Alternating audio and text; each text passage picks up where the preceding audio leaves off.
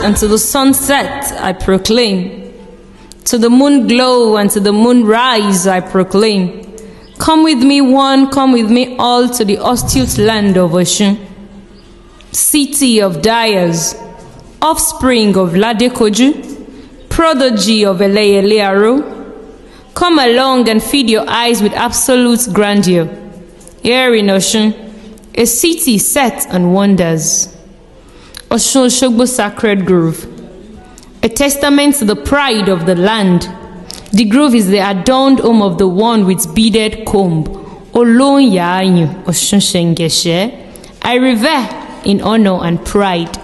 Come along and bear witness to the mightiness of Afinlu, that edifice where gigantic drums engage in matrimony with well-crafted Congo. The history is for those who saw the stories on the wall to retell. Come along to Olumiri Waterfall, a fall that purifies the body and soul alike. Come along to the ancient spot of Okpanromiyan, where creativity meets ancient wonders. Come bear witness to the spot where Ajasoro still lives on.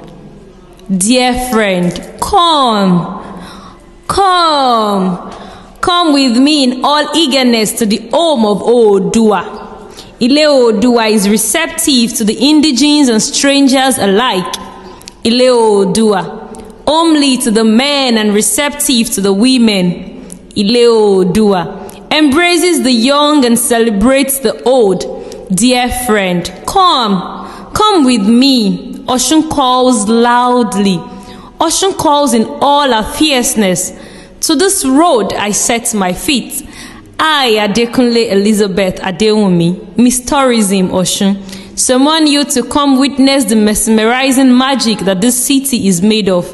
It is better to see once than to be told a thousand times. To this road we set our feet. To Ìpínlẹ̀ Ọmọlúàbí we march on.